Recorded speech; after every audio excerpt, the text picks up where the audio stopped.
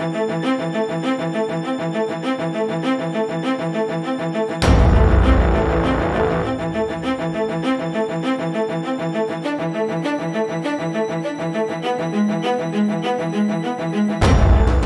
orang tersangka kita amankan, kita lakukan penangkapan.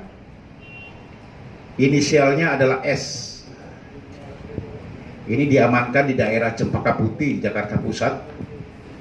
Barang bukti yang kita amankan adalah satu handphone, kemudian juga ada SIM card, serta adanya tangkapan layaran posting, layar posting ya, yang isinya bersifat provokasi milik si tersangka di WhatsApp grup dan WhatsApp milik pribadi daripada si tersangka inisial S ini. Modus operandinya adalah dengan mengirimkan dan menyebarkan pesan atau berita yang bersifat provokasi guna menghasut para pembaca-pembacanya di media sosial.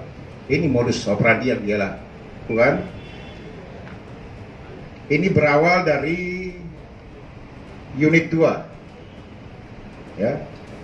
Tipit Cyber melakukan patroli di media massa dan juga adanya beberapa postingan-postingan yang beredar di media sosial maupun di media-media yang lain. Ya. Dalam satu tangkapan yang banyak beredar dari di WhatsApp grup khususnya ada satu yang paling masif yaitu di WhatsApp grup dengan nama Kedai Kopi Indonesia.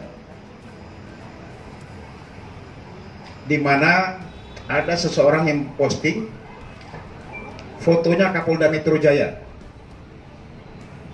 Ya, dengan menggunakan pakaian lengkap, pakaian dinas. Kemudian ditulis di situ dicari orang. Ya, dicari orang ini. Kemudian pembunuh bayaran dengan kalau menemukan orang ini segera menghubungi Mujafud Fisabilillah. Tetapi gambarnya adalah gambar Kapolda Metro Jaya lengkap dengan pakaian.